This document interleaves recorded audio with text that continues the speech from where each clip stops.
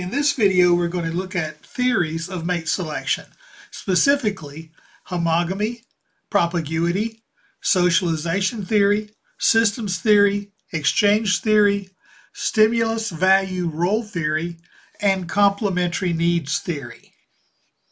Homogamy theory states that we tend to be attracted to people who are similar to ourselves in such characteristics as age, race, religion, and social class. It has to do with homogamy, which is marriage within the same social class or the same educational level, and endogamy, which is marriage within the same ethnic group or the same religious groups. We need to ask the question is there evidence to support homogamy theory? Let's look at social class homogamy first. Would you be prepared to marry someone in a different social class than yourself? Americans love books and movies that depict the super rich falling in love with and marrying the poor. But in the real world, in real life, that almost never happens. Uh, one study in the UK found that the upper class are 40% more likely than the working class to not engage in a relationship with someone in a different social class. So I've got a bumper sticker that says, if you're rich, I'm single, which means that, you know, the poor might be more willing than the rich to engage in that relationship. But it takes two for it to happen. Prior to 1967, it was illegal in many states for people of different races to marry. But the case of Loving versus Virginia changed that and made it legal nationwide. So, in the first half of the last century, only 3% of newlyweds were intermarried. But in recent years, such as in 2015, we see 17% of newlyweds were married to someone of a different race. Would you be opposed to someone in your family marrying outside of their race? Well, let's look at some survey data where people were asked that exact question. And you can see that prior to the year 2000, there were higher percentages of people that agreed with the statement that they would oppose their family members marrying outside of their race. But by the year 2016, the trend had moved downward so that a far fewer percentage of people opposed those interracial marriages. For example, when non whites were asked in 1990 if they opposed their relatives marrying blacks, 63% said they did. But by 2016, only 14% indicated that they opposed it. Rosenfeld examined data regarding endogamous trends over the past 100 years. And as you can see, with regard to racial endogamy, the trend has been for there to be less and less opposition to interracial marriage. However, with regard to uh, educational uh, status, there has not been much change. People tend still tend to marry others that have about the same level of education as they do. And there hasn't been as much change with regard to marrying outside of one's religion. Okay, that brings us to propinquity theory. This theory states that you're most likely to marry someone that you live near, work with, or go to school with. So it's all about how geographically close you are to other people and therefore have more interactions with those people and you're more likely to marry them. I wonder if new, more recent data would show a change in this trend um, with the advent of online dating, where people from more further distances apart could actually meet, get to know each other, and perhaps finally meet up and get married. Socialization theory focuses on how parental influence affects mate choice. The image of the opposite sex parents guides the search for a mate, and the same sex parents provides a role model. This reminds me of an old song from 1911.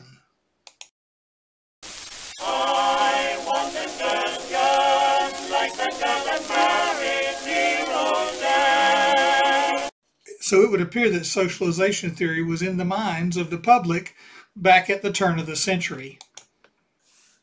There have been some studies that have found that mixed race children are more likely to choose a mate that is the race of their opposite sex parent. So that gives a little bit of evidence or credence to that theory. That brings us to systems theory, which maintains that there's a connection between the social role which people play in their family of origin and the kind of mate they select. So, according to this view, there's a tendency for people to gravitate toward partners with whom they can reenact their childhood family roles. I don't know if it's so much the case that they seek out people to do that or if they simply expect that once you get married that that's what you're going to do. I'll give you an example. Suppose uh, a young man and a young woman get married and let's say the young man comes from a family that's very demonstrative that they're always kissing and hugging, kissing hello, kissing goodbye. They're very affectionate. And the young woman comes from a family that's a little more reserved. You know, they they kiss and hug in private and they are affectionate, but they tend to be a little more reserved in public and they're not always kissing hello and kissing goodbye and so on. But during the time that the couple is dating, they are very much engaged in kissing and hugging and all of that you know, as a part of the mating ritual. So after they get married and they've been married for a little while, the husband kind of reverts back to the roles which he's observed in his family of origin, where they were accustomed to the kissing and hugging. And the wife tries to revert back to the roles she had observed in her family of origin, where they were a little more reserved with regard to that. And then they begin, the husband begins to think there's something wrong with our marriage. My my wife doesn't love me anymore because she doesn't kiss me anymore in public or what have you. And really, it's not that she doesn't love him anymore. It's simply that she's reverting back to that pattern that she learned. So, in a in a context of uh, marriage and family therapy or counseling, the counselor might help the couple to recognize that that tendency and where that comes from and then help them decide for themselves how they want their family to be. Uh, and it might be different from their families of origin. This brings us to exchange theory. Exchange theory postulates that enduring love and attraction are most likely to emerge when the each person perceives an advantageous exchange of contributed and received resources. So, what are these resources? We call them in sociology social capital. It could be beauty, it could be a good personality, it could be a good family background, it could be wealth, it could be um, any number of things that we value in the other person.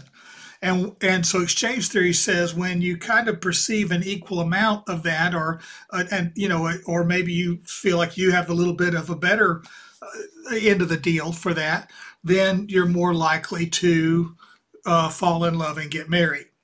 And you know that you believe exchange theory because think back when you were maybe in high school and you saw two people dating and they didn't seem to fit together, right?